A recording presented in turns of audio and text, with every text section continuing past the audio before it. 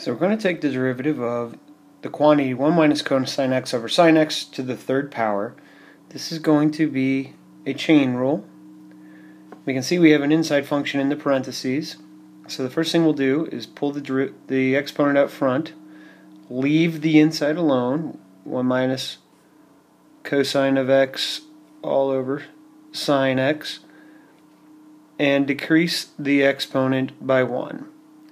Now, we need to multiply by the derivative of the inside and that's where things are going to get maybe a little messy because we're going to need quotient rule for that. So this part is done. So we have 3, let's leave this in alone for right now, minus 1 minus cosine x over sine x squared. And now let's set up our quotient rule. It's the denominator, so sine x times the derivative of the numerator, while the derivative is, derivative of 1 is 0, the derivative of negative cosine x is sine x.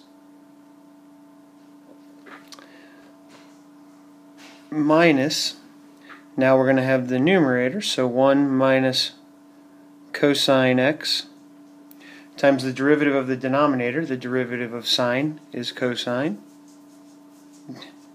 Excuse me, is cosine x all over the denominator squared, which will give us a sine squared x in the denominator.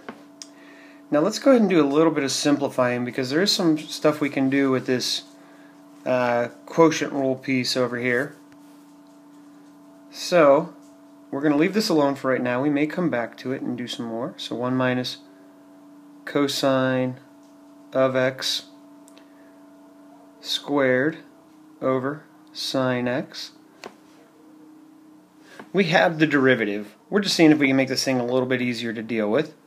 Sine x times sine x gives us a sine squared x in the numerator now here, I'm going to distribute this cosine x to these two pieces, but I'm not going to distribute the negative, yeah, just to make sure we keep everything clear. So we have a cosine x minus cosine squared x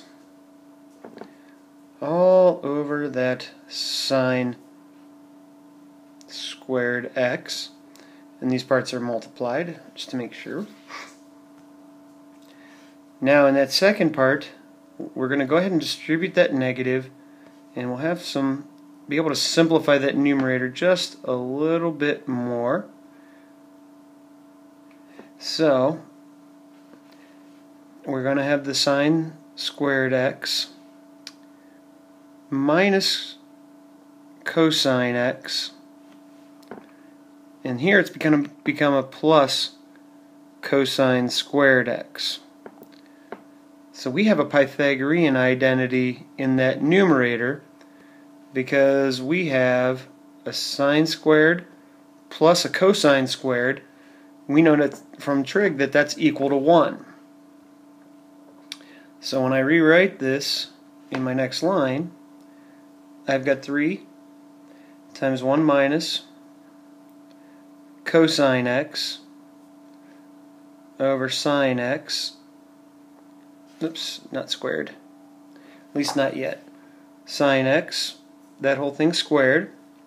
Here, I'm going to have a 1 minus cosine x.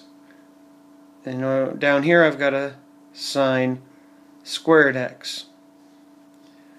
So, if we look at what we have, we can simplify this and make it a little bit cleaner because I could rewrite that numerator as 1 minus cosine x the quantity squared in the denominator as sine squared x.